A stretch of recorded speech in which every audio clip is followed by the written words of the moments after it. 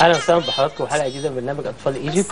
بنركز على كل ما يهم الطفل من خلال الموقع الإلكتروني www.atfalegypt.com ضيف النهارده هو الطبيب الطيب هو الجراح الناجح هو أيقونة أخلاقيات مهنة الطب في مصر والوطن العربي. اسمحوا لي أرحب بالأستاذ الدكتور محمد الدبيكي أستاذ جراحة الأطفال وإصلاح العيوب الخلقية كلية الطب جامعة عين شمس. أهلا وسهلا دكتور. أهلا وسهلا بك. الله يسلمك حضرتك. في الحقيقة عايزين نبدأ دلوقتي بإن إحنا نصحح مفهوم عند الناس كلها إن آه، جراح الأطفال بيتدخل أثناء فترة الحمل مش دوره بيجي بعد ال- الولادة. آه كويس. آه هو تعريف في جراحة الأطفال إن هو تعامل الجراحي مع آه الأطفال في السن من كام لكام. ففي الأول كان التعامل بتاع جراحة الأطفال من سن صفر اللي هو عند يوم الولادة لسن 12 سنة. بعد كده تم ضم آه، فترة المراهقين اللي هي لحد سن 18 سنة. وبعد كده بدأت ال- آه، التطور الكبير جدا ودخل آه، فترة الحياة الجنينية.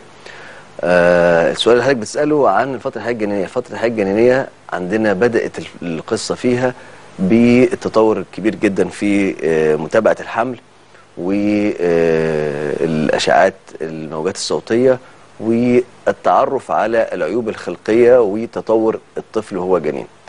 وبدأ يتطور فبالتالي ده أصبح دي حاجة مهمة جدا عشان خاطر غالب العيوب الخلقية اللي هنتعرف عليها هنبقى جاهزين ليها ومستعدين ليها لما الطفل يتولد.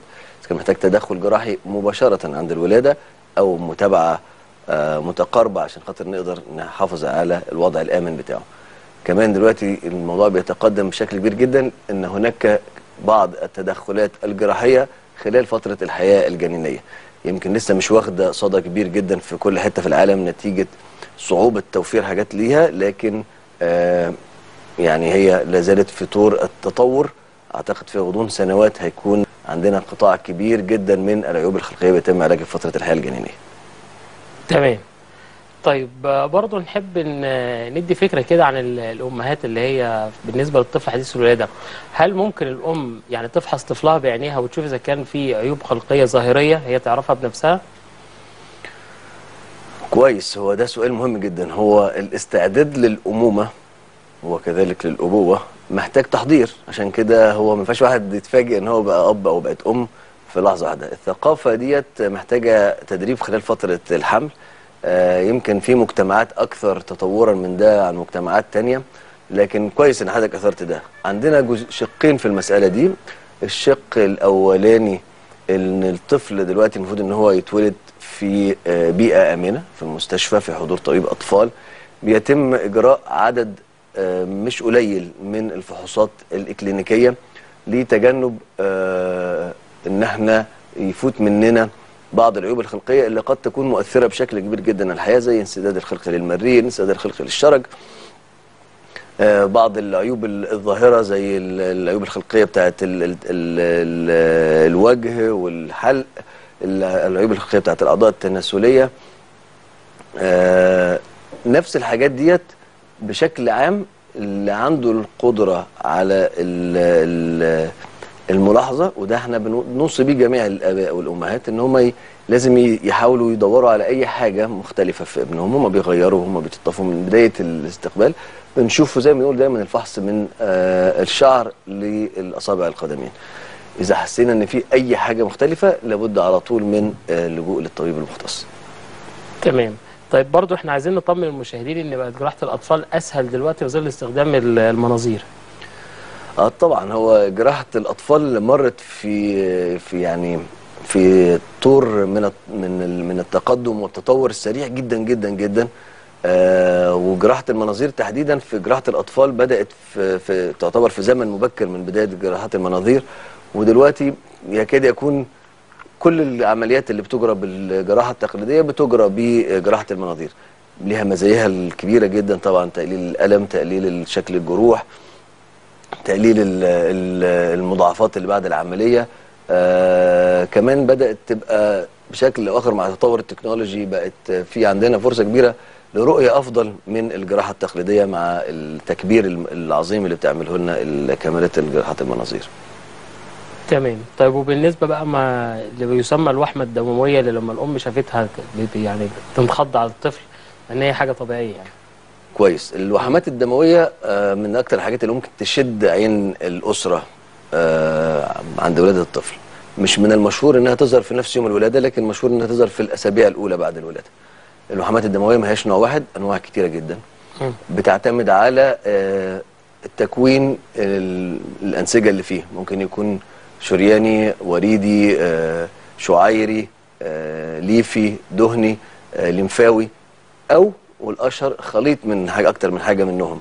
آه، عند وجود أي حاجة من دولت بتحتاج طبعا لتقييم إكلينيكي قوي جدا استخدام أشعات بشكل آه، آه، متقدم شوية عشان خاطر تحديد أنهي واحدة فيهم وبداية خطوات العلاج في التوقيت المناسب سواء العلاج الدوائي أو التدخلي سواء بالتدخلات البسيطة أو التدخل الجراحي. تمام. طيب هل برضو حضرتك كان في ناس بتسأل هل ال- الأطفال بيصابوا بالزايدة الدودية؟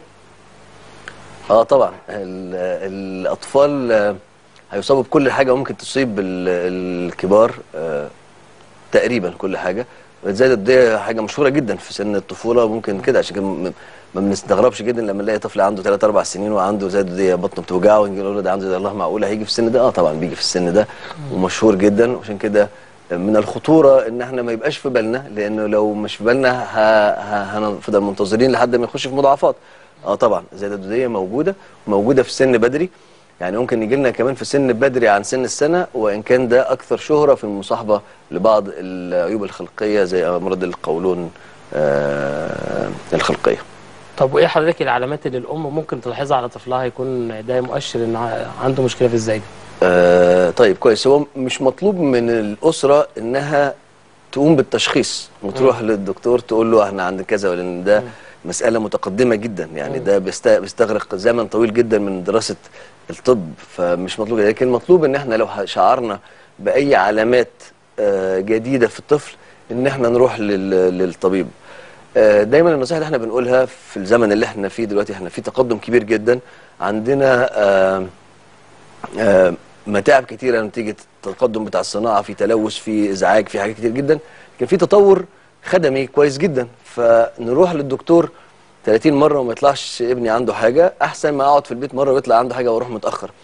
فإذا الطفل اللي عنده ألم في بطنه إذا عنده قيء إذا عنده حرارة إذا عنده إسهال آه إذا عنده إمساك بالضرورة إن إحنا لازم نلجأ للفحص الإكلينيكي لأن هو الفحص الإكلينيكي بيمثل جزء كبير جدا من التشخيص. وبالتالي من الصعب إنها تفوت على آه الطبيب لكن سهل قوي إنها تفوت على الأسرة. طب إحدى المشاهدات بعتت لنا بتقول إن بنتها كان عندها مشكلة في المريء بعد الولادة على طول بعدها تقريبا بحوالي أسبوعين وعملت عملية في في المريء آه، فهل بعد كده هل المريء بتقول إن هو هينمو نمو طبيعي والبنت هتقدر بعد كده تاكل أكل صلب ولا هيبقى فيها عندها مشكلة البنت. عندها أسبوعين بتقول. كويس. هو غالبا ال- المشكلة اللي واجهت ال- الابنة العزيزة ديت إن كان عندها نوع من أنواع الانسداد الخلقية للمريء آه، مع وجود ناسور أو عدم وجود ناسور الانسدادات الخلقية للجهاز الهضمي كلها موجودة في المريء في المعدة في الاثنى عشر في الأمعاء الدقيقة. كل الجزء آه، الشرج آه، الإصلاح بتاع العيوب الخلقية ديت قد يكون على مرحلة واحدة ويبدو إن الابنه العزيزة كانت آه، محظوظة بشكل كافي إنها تقدر تعمل تخضع لجراحة على اصلاح على مرة واحدة. ودولت آه، يعني في أغلب الأحوال هتعيش حياة طبيعية سليمة جدا جدا بدون آه، أي مشكلة مع درجة نمو كويسة. في بعض الأحوال بتبقى الأمور أكثر تعقيدا وبتحتاج الإصلاح على مراحل. واحيانا بتحتاج الاستبدال المريء خالص لأن المريء بيبقى غير موجود. ويحتاج العملية من اللي بتسمى بزرع المريء. تمام. طيب جانا برضو حد من أحد المشاهدين بيقول إن ابنه عنده ست سنين وعنده انسداد بين الحالب وال- والحوض. فراح للدكتور والدكتور طلب منه وظائف كلى فلقاها طبيعية. فبيقول ده هل ده محتاج تدخل جراحي؟ كويس. ده برضو أحد العيوب الخلقية الشهيرة جدا اللي هو انسداد الخلقي لحوض الكلى. آه الكلية هي بتمثل الجزء الوظيفي لفلترة الدم وإفراز البول في منطقة التجميع اللي هي حوض الكلى وبعدين ينزل من حوض الكلى للحالب.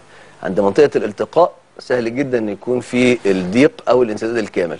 وصول سن ست سنوات لازم يحتاج تقييم كبير جدا. وظائف الكلى مش هتتأثر إلا إذا كان التأثير على الجانبين لكن الكلية واحدة قادرة على إنها تقوم بالوظائف الكلى بشكل طبيعي جدا. فبالتالي محتاج إنه يعمل عدد من الفحوصات تشمل الموجات الصوتية تشمل المسح الذري تشمل بحيث إن إحنا يتم تقييم وضع الكلية دي لوحدها عامل إزاي ودرجة الانسداد بتاعته إزاي. فغالب الأحوال بيحتاجوا طبعا إصلاح جراحي. طيب جالنا برضو سؤال من إحدى المشاهدات بتقول إن آه، ابنها عنده ست شهور ومن أول ما اتولد هو عنده إمساك مزمن وضيق في فتحة الشرج. فده برضو هل محتاج تدخل جراحي؟ إحنا عايزين نجاوب الأول على السؤال دوت وبعد كده نخش على الإمساك لأن وقت ال- البرنامج خلاص قرب. طيب جميل جدا. هو طبعا ده موضوع كبير جدا. آه القولون يمثل أحد المنغصات الشهيرة جدا للعالم. آه يعني إيه؟ يعني كثيرين جدا حوالين العالم بيعانوا من الإمساك. نتيجة تغير نمط الحياة اللي موجود. بدأت من عند الخمسينات ال- آه، القرن اللي فات ولا زالت بتزداد في العالم كله مش بس في المجتمع بتاعنا. نتيجة تغير نظام الأكل نظام النوم. لما نيجي نقول إيه أحسن طريقة للحياة طريقة الحياة بتاعت جدودنا اللي كانوا موجودين من 150 سنة. مواعيد نومهم ومواعيد صحيانهم ونظام أكلهم هتلاقي الدنيا تبقى مظبوطة جدا. الإمساك منغص على الحياة يعني ممكن واحد يبقى عنده مشاكل كتيرة جدا في بيته ومع جيرانه في شغله ومع زمايله ومشكلته الوحيدة إن هو عنده إمساك. بيدخل الحمام كل يوم آه بس هو ما بيفرغش 100% من الكمية المفروض يفرغها في اليوم بتاعه فبالتالي هو عنده مصنف كمريض إمساك. لو بدأ ياخد علاج مظبوط وينظم موضوع حياته تتغير ويتحول لشخصية لطيفة جدا ومرحة جدا. العيوب الخلقية كتير جدا اللي بتمثل في القولون. عشان كده لابد مراجعة جراح الأطفال للتأكد من عدم وجود العيوب الخلقية للشرج بجميع أصنافها ودولت أنواع كتيرة جدا. ما هماش أبيض وأسود ده فيهم آه، يعني يعني آه، ألوان كتير. آه، طبعا إحنا ما عندناش بعض العيوب الخلقية للقولون زي نقص الخلايا العصبيه و- وبعض الأمراض ال- ال- ال- الخلقية الأخرى في القولون. إذا مش موجود بنبتدي نتعامل معاه كالامساك المكتسب الامساك الأولي. وده برضه ما هوش مسألة بسيطة لأن زي ما قلنا ده بيؤثر على واحد من كل ثلاث بني آدمين تقريبا في الحياة الجديده ومنغص كبير على الحياة. تمام. طيب آه، هل آه، يعني عايز أقول إيه؟ في أكلات معينة الأم تأكلها للطفل بحيث إنها تتجنب الإمساك؟ كويس. آه هو دايما ال ال ال ال النصيحة الأساسية هو إن التربية الغذائية جزء مهم جدا من التربية. فالطفل عند مراحل النمو بتاعته طبيب الأطفال دايما بيعمل إرشاد ليه كده. النهارده لحد سن ست شهور هنبقى رضاعة فقط طبيعية أو صناعي. بعد كده هنبتدي ندخل الأكل. طبعا الخضروات بتبقى يجي يجي دورها. لازم نبتدي نزود آه، المكونات الغذائية عشان خاطر نحافظ على تغذية الطفل. في الفترة ديت إحنا بنستخدمها بنستخدمها بشكل متباعد علشان نقدر نكتشف إيه من الأكل ممكن يكون بيؤثر على آه، حركية الجهاز الهضمي للطفل اللي موجود عندنا بالسلب بالإمساك بغيره فيقدر يبتدي يتجنبها على المطلق ال- الأطعمة الأصلية للمجتمع بتاعنا اللي كان معروفة لجدودنا غالبها آمن جدا مفيش عندنا مشكلة. غالب الأطعمة المصنعة عندها مشاكل كتيرة جدا في آه، استجابة الجهاز الهضمي ليها. تمام كل دي معلومات مفيدة. آه، استفدنا الحقيقة كلنا منها. آه، بنشكر الأستاذ الدكتور محمد الدبيكي أستاذ جراحة الأطفال وإصلاح العيوب الخلقية كلية الطب جامعة عين شمس. هنطلع فاصل ونرجع نستقبل الطفلة الفائزة في مسابقة أطفال إيجيبت. استنى.